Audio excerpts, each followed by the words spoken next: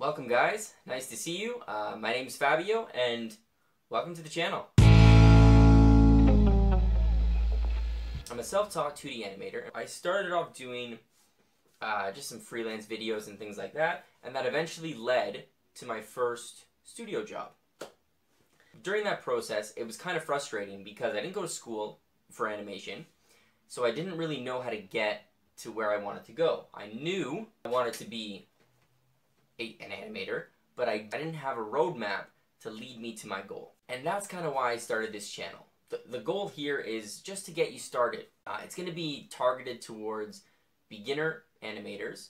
We'll be going over like tutorial videos, speed animations, behind the scenes, work in progress videos. Hopefully it can get you guys excited about animation and really uh, give you a place to start. So for the first video, I thought we would just take a look at uh, one of the pieces of software that I'm going to use. I'm using Sketchbook because Sketchbook is free, so it's there's no real excuse there, and you can produce pretty good quality stuff. So we'll look at some tools, and then in the next video, we'll get you started with your first animation right out of the gate.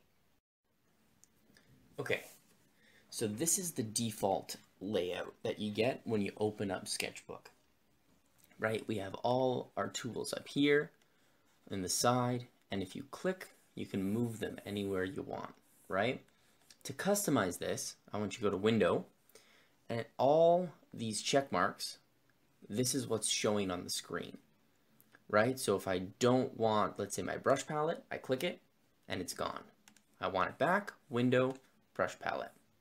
Okay, so let's do Window, Layer Editor, to get some layers. Put that on the side right? And you can customize this however you like. I don't really like the lagoon, so let's get rid of that. But this is for drawing, right? Not for animating. So we don't really need to worry about this. Let's go to File, New, but instead of New Project, let's do New Flipbook, New Empty Flipbook.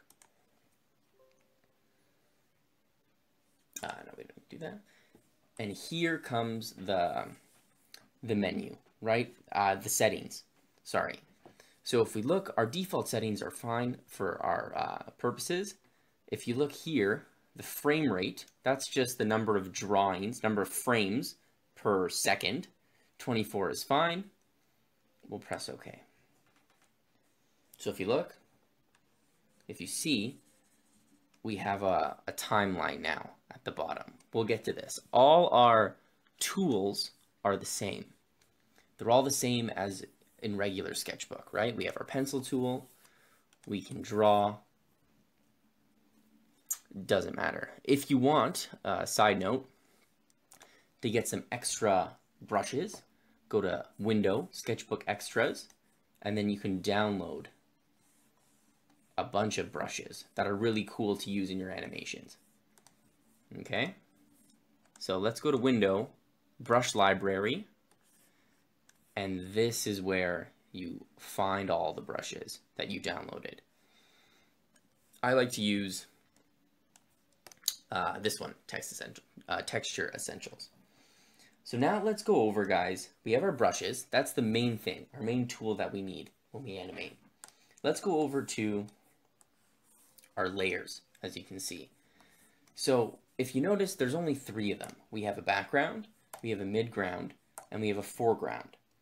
So on the background, you can't, you can't really do any animation, right? So whatever you draw on the background is gonna stay there for the duration of the animation. The midground and the foreground, obviously those are two layers where you can layer your animation. So I like to do my rough animation on the midground, and then I like to do my good lines on the foreground. Just be careful though, because whatever you draw on the midground, you cannot change it. So if you put it on the midground, it's stuck on the midground. If you put it on the foreground, it's stuck on the foreground. So just be careful. There are ways to work around it, but just be careful where you put your animation, what layer you're working on. So let's go make sure we're on the midground. Okay, and now we're gonna look at our timeline. So, here we have a blank frame. That's what it's called. You can draw on this frame. Boom. Easy. Now if we want to add another one, we press this little plus button, add blank frame. The problem is it's not a keyframe. A keyframe, we press that, and now we have an empty space to draw, right? So now if we go back, first, second frame. So a keyframe, think of it as a new drawing, and a frame holds our old drawing, right? So this first frame is a keyframe. It is held for one frame, and then we have a new keyframe. If I want to erase this, I just click pick clear keyframe. Easy, right? If I want to duplicate, I click duplicate keyframe. And it's very intuitive, very easy to understand. So let's add another keyframe. Now, getting into the actual animation part, I'm going to need to see what I was doing on the previous keyframe, right? I can't, I don't know where I was, so what I need to do is go over here and turn on onion skin, right? So if I press this button, I can finally see my frame from previously, and then I can animate it, right? You can look uh, back, you can look forward, right? And that's good if I want to put a, uh, an animation right in the middle. And it's moving. And uh, the last thing about the timeline is this little scrubby thing down here. So as you can see, it goes 1 to 24. That's the range of frames that Sketchbook shows. So now it's only showing 1 to 24. If I move it, it only shows frames 16 to 39. Okay, so just if you think you lost your animation, you didn't, just move this back. And then to keep it in the range. So that's our basics for animating, guys. All right, we have keyframes, we insert the blank keyframes, and then we can use our onion skin to see where we, uh, where we were before and make our new drawings. Last thing, I'm gonna go up here, is some tools, some extra tools that, that we might use. So I'd like to use the transform tool, right? If you don't want to redraw, you can stretch things, you can squash them, you can uh, move them around, right? If you press this button, I can warp it. So this helps if I don't always want to redraw, I can just make some adjustments. Another thing is our uh, rulers.